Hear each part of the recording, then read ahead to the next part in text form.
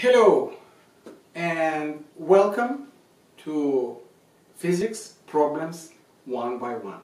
So here is a problem. As always, read it, maybe once, maybe twice, and then pause the video and try to solve it yourself. This problem is the continuation of the previous one. Remember we received this formula for the case when the car was riding with the speed v1 and this is with v2 but this car was staying still for the period of time t0 and only after t0 passed this time this car started to drive. And so the car started to drive v1 behind v2 in front and we calculated what time they meet and they meet for this period of time after they started to move and then we put the numbers and we receive that in three hours they move, uh, they meet. Oh, but what if, for example, T0, T0 would be not one hour, but two hours? If I plug the same numbers here and V2 would be two hours, then 2 by 50 would be 100 and the top becomes 200 minus 100 and the bottom will be 100 minus 50 and t will become 50 at the bottom, uh, 100 at the top, and t will become 2 hours. And if we think about this, if we think about this, we will see the first car covering 200 kilometers with 100 kilometers an hour, it would be exactly two hours. And these two hours, it would be the time when this car will arrive to this point and the second car will still be standing still and so they will meet here and it will be exactly after two hours. Nice.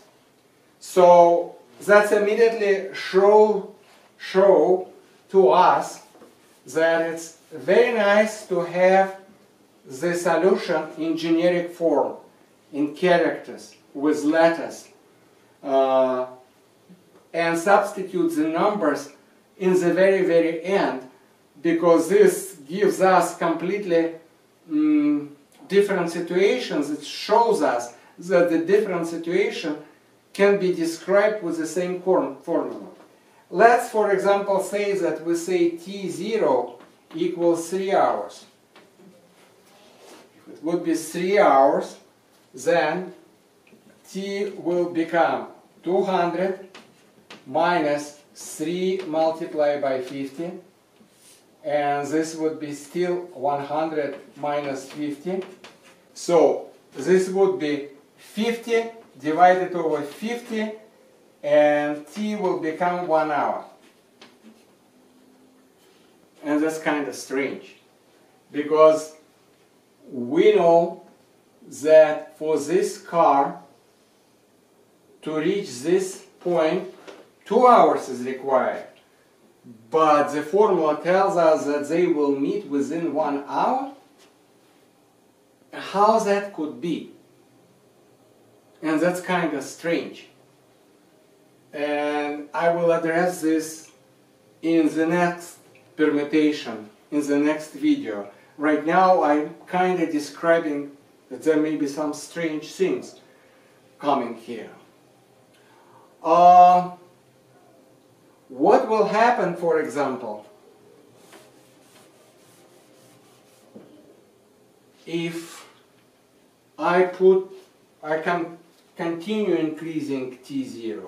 And I put, let's say, T0, uh, let's say, uh, 6 hours.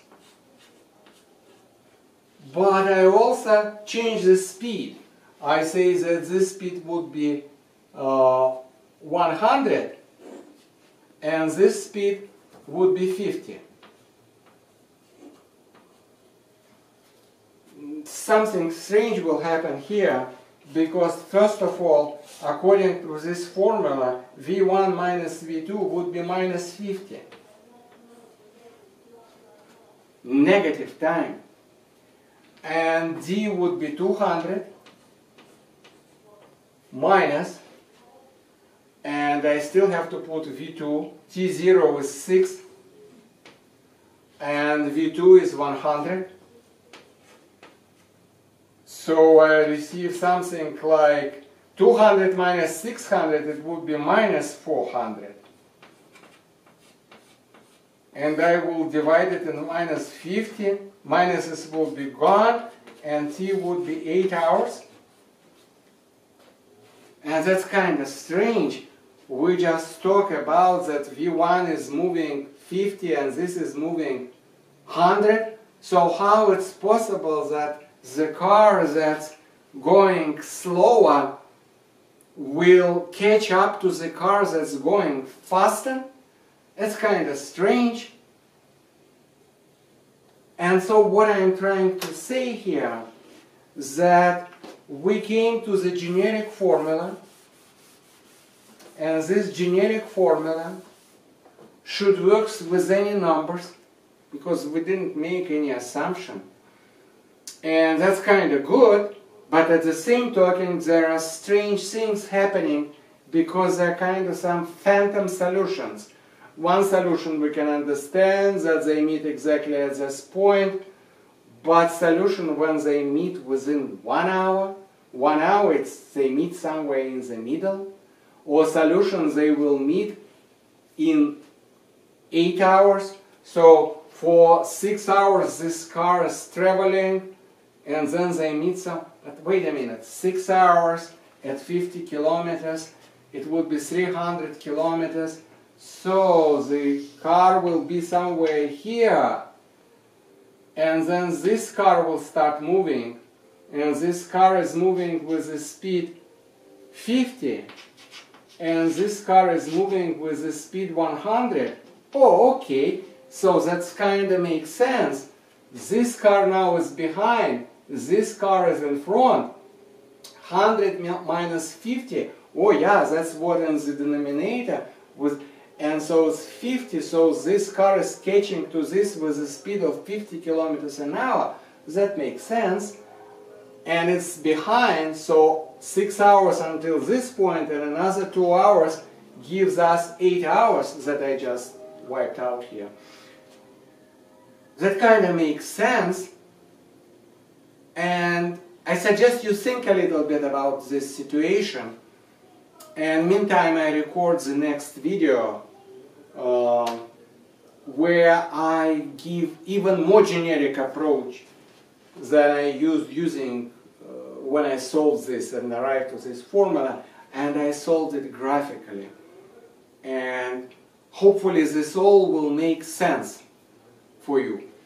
Uh, meantime, don't forget to subscribe, don't forget to like, don't forget to click the bell and this way you will never miss when I publish a new problem and I will publish a lot of them. Thank you.